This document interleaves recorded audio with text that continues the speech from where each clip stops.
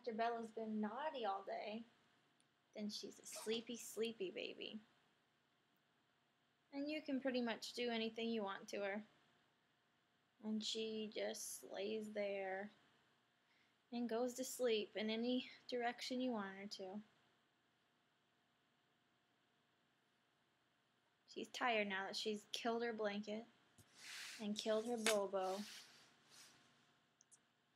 Good night.